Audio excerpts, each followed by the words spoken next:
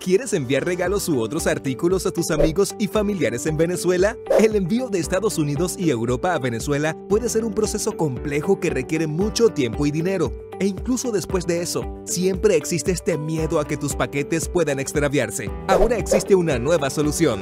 FamilyBox.store FamilyBox.store es una tienda en línea que te permite crear un pedido al instante para que puedas enviar comida, artículos de cuidado personal, productos de limpieza, regalos y mucho más. Entregamos a más de 320 destinos en toda Venezuela. Así es, ahora puedes realizar un envío a Venezuela con FamilyBox.store en tres simples pasos. 1. Visita www.familybox.store. 2. Explora nuestros productos y selecciona los que te gustaría enviar a tu familiar o amigo en Venezuela. 3. Introduce los datos de entrega y completa el pago con tu tarjeta de crédito, débito, CL o PayPal. Una vez que tu pedido sea recibido, lo entregaremos en un máximo de dos días hábiles en la ciudad capital de Caracas y hasta seis días hábiles para el resto de Venezuela. Sí, es así de fácil. Ingresa a familybox.store para crear tu primer pedido ahora y enviar alimentos y mucho más a Venezuela.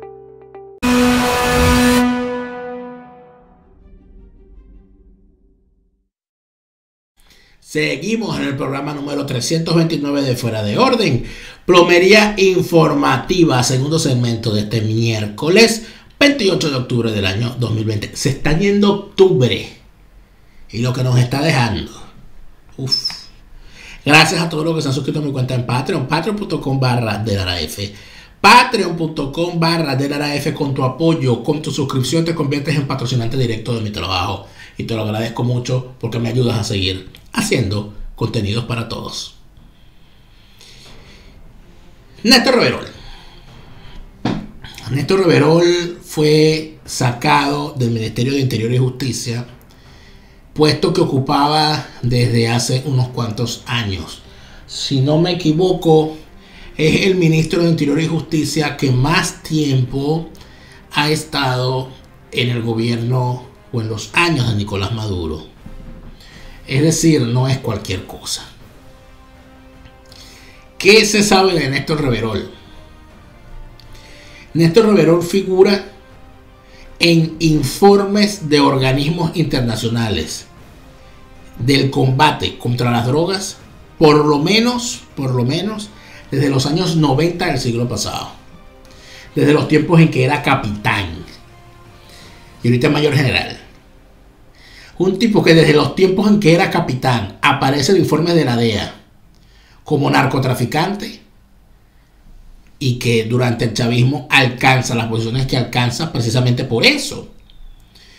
Estamos hablando de un tipo que simple y llanamente es un narco, un tipo que simple y llanamente forma parte fundamental del cartel de los soles y quien es además el que manejaba mayor poder. En Néstor Rivero Torres hay algo muy importante que es necesario mencionar. Néstor Rivero Torres es de la Guardia Nacional, de la antigua EFOFAC que llamaba. ¿Esto qué quiere decir?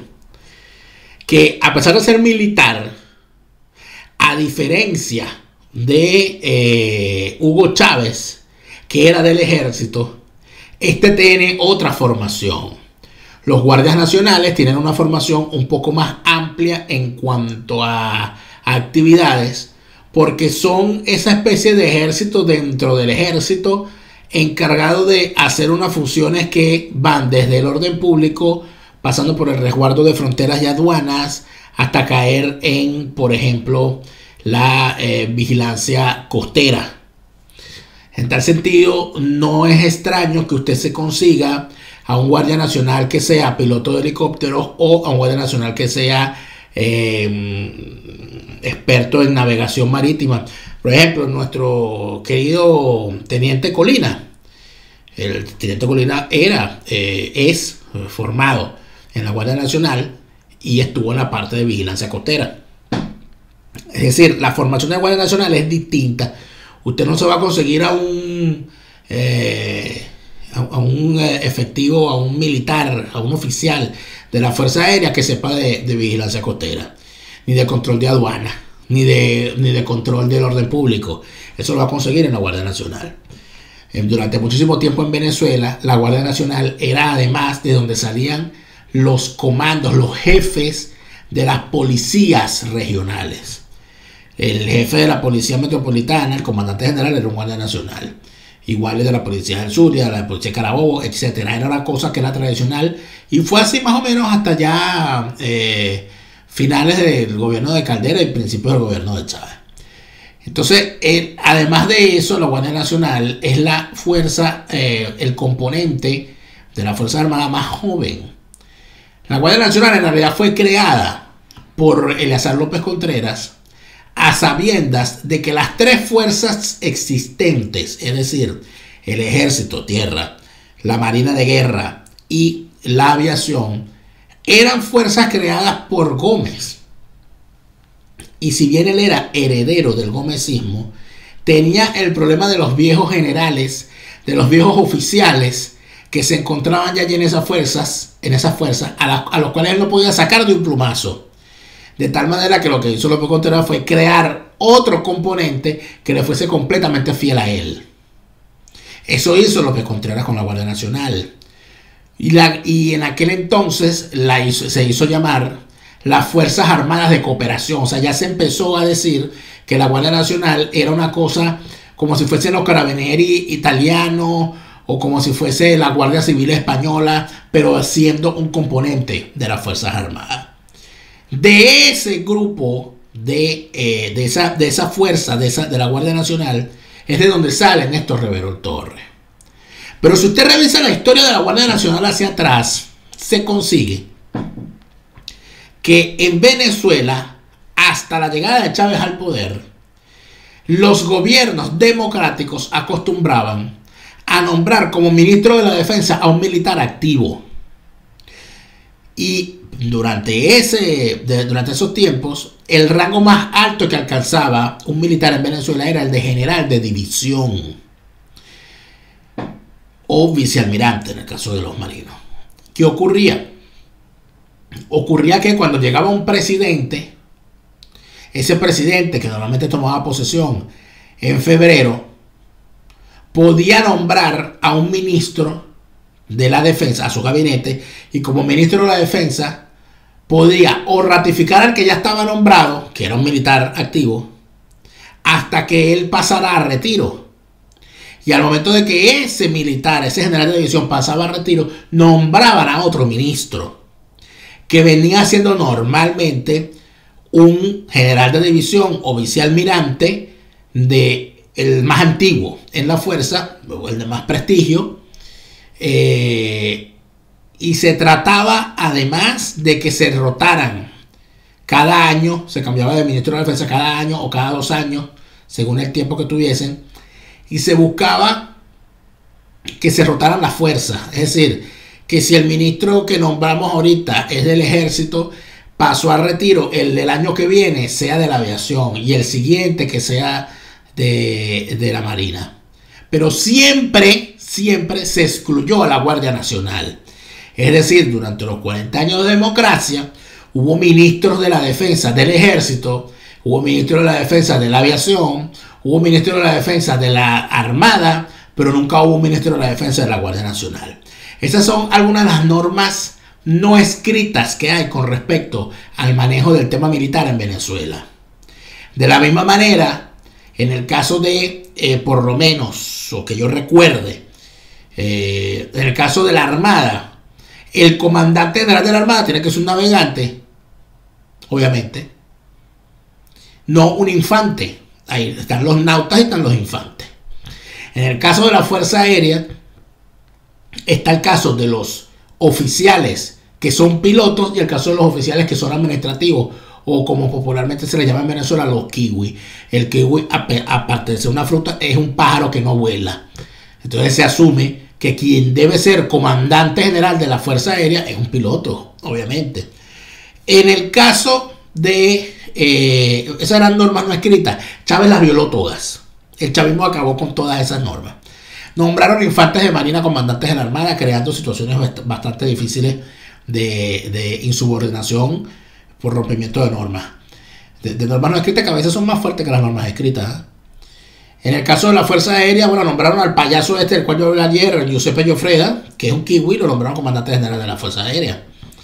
Y en el caso del ejército, los desastres fueron mayúsculos. En todo esto y en, toda esta revisión, Chávez nunca se atrevió, y Maduro tampoco, a romper con la tradición de mantener al margen del Ministerio de la Defensa a la Guardia Nacional. Nunca hubo un ministro de la Guardia Nacional en Venezuela, ministro de la Defensa. Y eh, además de eso, en el caso del gobierno de Chávez, que yo recuerde, no ha habido ningún ministro de la Defensa del componente Fuerza Aérea. Ya esa sería otra discusión. ¿Por qué esta perorata tan larga con respecto a las Fuerzas Armadas y estas normas no escritas? Porque si usted revisa que el militar más poderoso, entre comillas, dentro del gobierno es Padrino López, que es del ejército, ¿cuál es el segundo militar activo, mayor general, con poder de mando dentro del gobierno? Reverol, ministro de Interior y Justicia, los servicios de inteligencia civiles y policías bajo su mando, el control de los registros eh, civiles y mercantiles, el control de los servicios de identificación, el control de los movimientos migratorios del país, de, la, de, mm, de los pasos fronterizos, el control de la matriculación de vehículos en Venezuela, o sea, todo eso está en manos del Ministerio de Interior y Justicia, contando además con eh, su participación el nombramiento de jueces, en la relación con la fiscalía, en la relación con, en la dirección de la, de la policía científica del CICPC. O sea, mira todo lo que tiene ese ministerio en sus manos. Las notarías, los registros. O sea, estamos hablando de muchísimo poder. Todo ese poder estaba en manos de un, de un mayor general de la Guardia Nacional. Lo que nos lleva a nosotros a establecer, a mí me lleva a establecer, desde mi punto de vista, que desde la fundación de la Guardia Nacional no había habido un miembro de ese componente con más poder que el señor Néstor Reverol. Es decir, no estamos hablando de una casualidad, estamos hablando de un tipo que acumuló una cantidad de poder que no le habíamos visto a nadie más en la historia de la Guardia Nacional. Entonces este señor, que por cierto ya había sido defenestrado una vez, lo sacaron del gobierno, creo que del mismo ministerio, Interior de Justicia. Y de repente, de la, del ostracismo, el tipo regresa y lo nombra comandante general de la Guardia Nacional, en un movimiento táctico que empezó un regreso con un ascenso meteórico hasta que llegó a ministro. Basta entonces aquí preguntar, ¿estamos hablando de la caída de Néstor Reverol o estamos hablando de un movimiento táctico? Lo primero que hay que decir es que eh, en buena parte, según me informan algunos trabajadores, en buena parte de, la, de los organismos adscritos al Ministerio de Interior y Justicia, hubo celebración, fiesta y rochela con la destitución de Reverol, con la salida de Reverol. ¿Por qué? Bueno, porque los empleados lo detestan, los empleados administrativos considera que el señor Reverol eh, tenía una grandísima rosca corrupta de funcionarios ineptos, pero muy ladrones. Y que a eso era lo que se dedicaba, inclusive a atropellar a trabajadores. Y cuando hablo de los trabajadores no me refiero a los matraqueros de taquilla, me refiero a la señora que limpia, me refiero a la gente que no tiene poderes eh, eh, para andar matraqueando a nadie, sino que están simple y sencillamente ganándose su salario. Bueno, esa gente ha celebrado muchísimo con la caída de Reverol. Pero mandan a Reverol, dos cosas que decir, mandan a Reverol al ministerio a, encargarse de la, crisis eléctrica, de la electricidad, y ponen en el Ministerio de Interior y Justicia a Carmen Meléndez, que venía, que ya estuvo en ese ministerio, que ya fue ministra de la Defensa y que, y que había sido electa gobernadora del estado Lara, donde obviamente, bueno, el acabose acabó con ese estado. Y ya como la mandaron allá como quien manda a un asesino, a un sicario eh, a la cabeza de una fuerza de ocupación, como ya acabó con el Estado Lara, la sacan y la ponen aquí en el Ministerio de Interior y Justicia.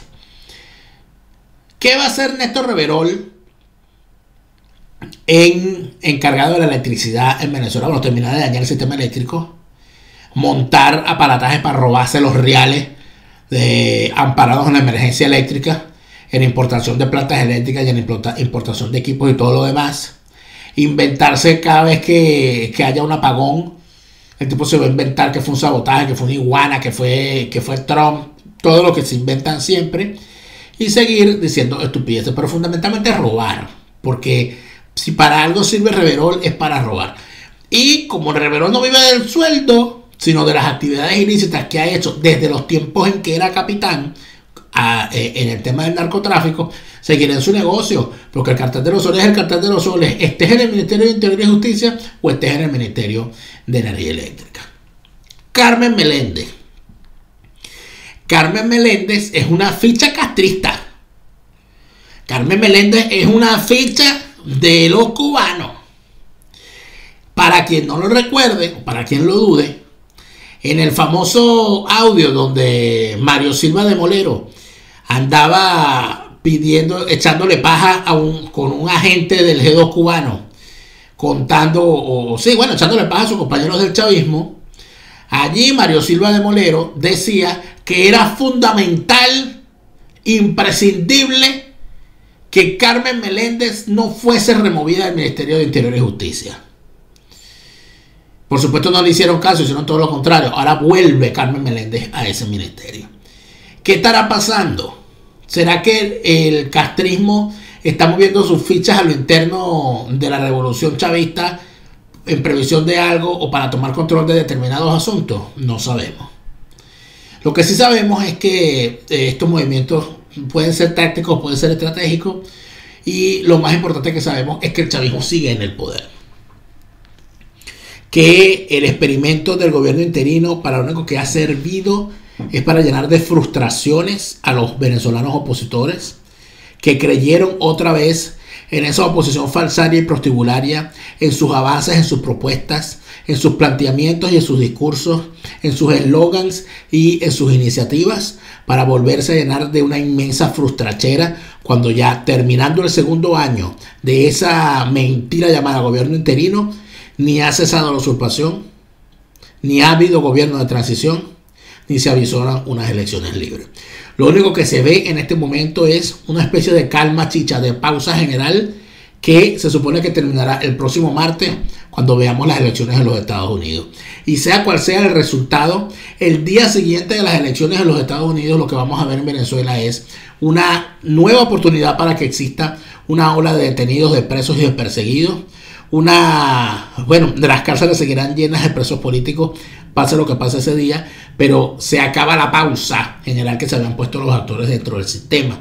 Y empezaremos a ver, por supuesto, más barbaridades, más situaciones difíciles y sobre todo más mentiras para empedrar el camino a las elecciones falsarias del 6 de diciembre y a la famosa consulta que el bando falsario y prostibulario del chavismo llamado oposición y G4 están preparando ahora con el auspicio de la aparición de eh, Nicopoldo Madu López. Por cierto, una pregunta que tengo yo que hacer.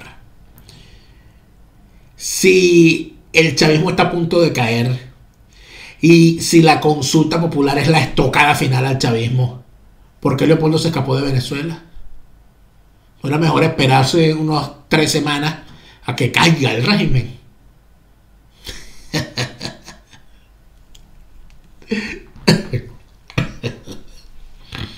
El que no va a caer Chávez porque se murió. Nosotros nos vemos de nuevo mañana jueves en un nuevo Fuera de Orden. Hasta entonces.